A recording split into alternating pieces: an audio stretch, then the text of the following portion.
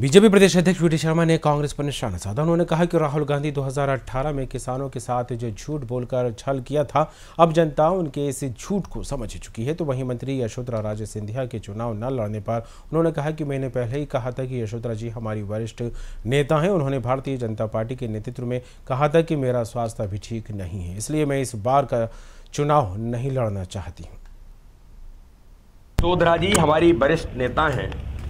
उनको चौथी बार कोविड हुआ। दो दो बार, तीन तीन बार तो लोगों को हुआ, लेकिन उनको चार बार कोविड हुआ।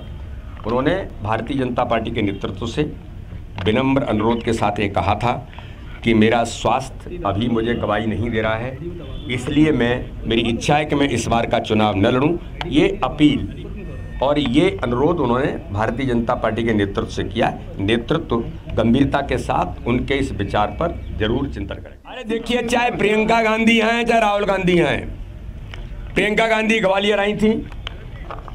कांग्रेस के नेताओं ने भर्ती पटा दी उनकी।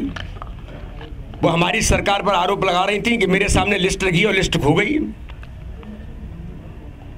प्रियंका गांधी से झूठ बुलवा करके राहुल गांधी की श्रेणी में ला करके उनको खड़ा कर दिया।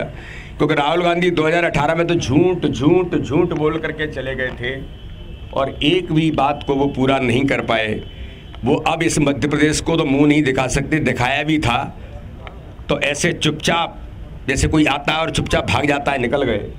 जनता के सामने नहीं आए।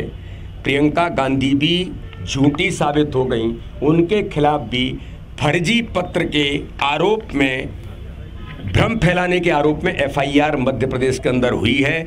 तो प्रियंका गांधी जी, आपको भी श्रीमान बंटाढार दिग्विजय सिंह और श्रीमान करप्शन नाथ कमलनाथ ने आपको भी झूठा साबित कर दिया। किस मुँह से मध्य प्रदेश आएँगे आप? ये झूठ चल कर छल कपट की राजनीति करने के लिए। सनातन पर आक्रमण करके, प्रियंका जी, ये मध्य प्रदेश सनातनों का, सनातनियों का प्रदेश है।